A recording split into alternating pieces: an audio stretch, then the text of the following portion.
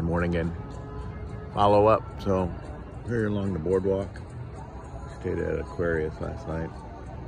That's part of the Best Western program, and we try to usually stay at Best Westerns to get points. so Boston's uh, interesting. I call it Laughlin and River, let's say Rivertown, because it's right along the Colorado River.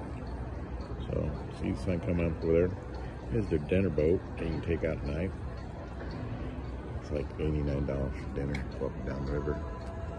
They have a jet boat down a little ways that you can take from Laughlin clear down to Lake Havasu to London Bridge also, which is like $89 I think too. So a couple things to do. You can rent jet skis here.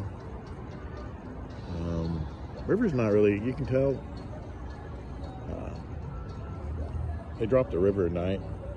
So you can see the down on the side here. It gets uh, a little shallower. Then they raise it back up during the day. So it's a little different than down by the Parker Strip where we used to have a place. Water doesn't fluctuate much down there. So got um shoot Edgewater along here, and Aquarius and Riverside.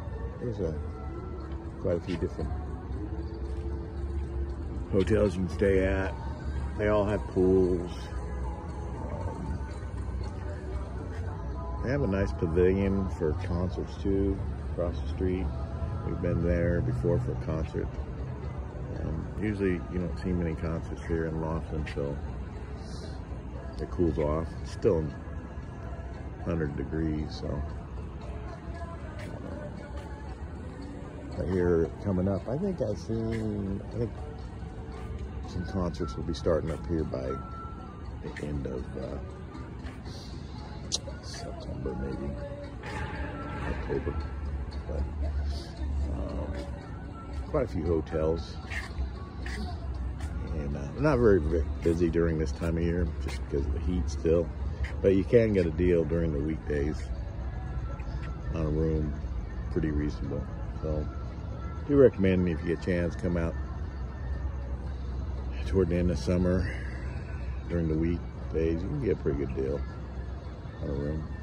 So, river is calm this morning. It's it's nice out. So, we're across the river. You can see Bullhead City. So, take care and have a wonderful day. And try not to be out so in between videos so long, but I haven't been doing too much. I've been staying in uh, Phoenix with my uh, son, so uh, we'll be heading back that way, and then I think we're going back down to the Ozarks. I got a couple doctor's appointments to finish up with in, in Phoenix. That's one thing uh, I guess people should think about too as you get older. But if you're thinking about living someplace, I guess, better look at what those towns have for healthcare facilities. I know a lot of us don't really want to live in big cities anymore, I don't want to live in a big city, but usually get into a facility you know, you need anything from, you know, dentist or whatever, dermatologist, heart doctor. Get into somebody. I noticed when we were down in Ozarks, I'm not bashing Ozarks, but, uh, you know, if, if you down there, you got a three hour drive to Kansas City or three hour drive to St. Louis. You live in a bigger city, you know, you can get an appointment a lot faster, I think, than you can in a small town. You don't get a lot to choose from in a small town. So just uh, putting that out there for people thinking about moving. That's one thing that still kind of holding me up about moving to a small town is as we get older and health issues, uh, where you can get in to see somebody. Anyways. It's a beautiful morning.